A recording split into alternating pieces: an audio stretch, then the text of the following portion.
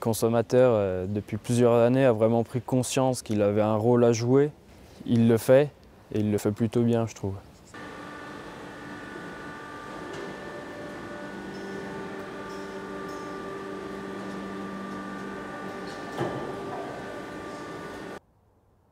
Je m'étais installé, on travaillait avec une coopérative qui tournait bien. Euh, on s'est retrouvé après à vendre du lait euh, en spot aux Italiens où c'était la, vraie catastrophe.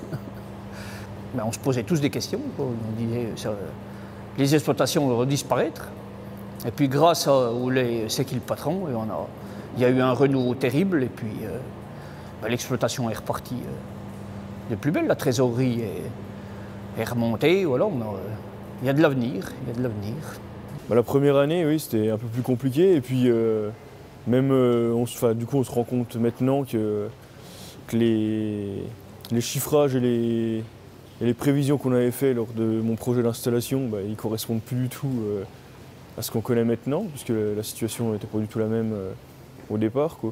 N'étant pas installé, j'y ai suivi un peu de loin, un peu sceptique au départ, mais après, au fur et à mesure du temps, quand on a vu l'importance que ça a pris et l'ampleur du développement, on a vite compris euh, que ça pourrait marcher. On nous apprend c'est les grandes, les grandes marques qui font un peu les, prix et, que le consommateur il est justement dans une société de consommation et qu'il achète euh, ce qu'on veut lui faire acheter.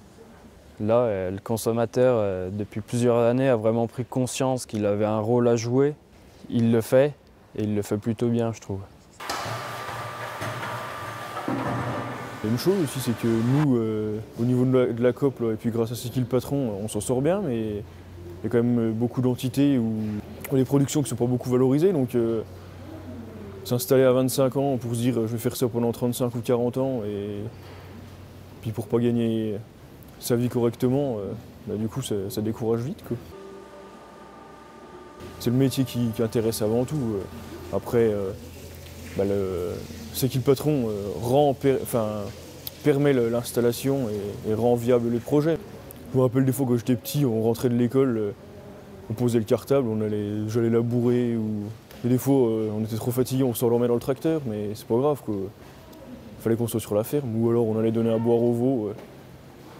Ah bah, notre mère, elle, s'est arraché les, cheveux quelques fois hein, parce que c'était plus facile de, nous emmener à la ferme que de faire faire les devoirs. Moi, je suis un passionné de, mon métier et de pouvoir transmettre ça à mes fils. Et puis, bon, c'est vrai qu'on a un joli outil de travail.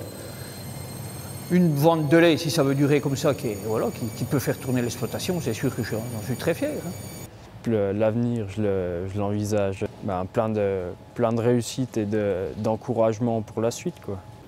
On a pu faire de notre rêve notre métier et puis oui, bah, je pense qu'ils peuvent être quand même fiers de ce qu'ils ont fait.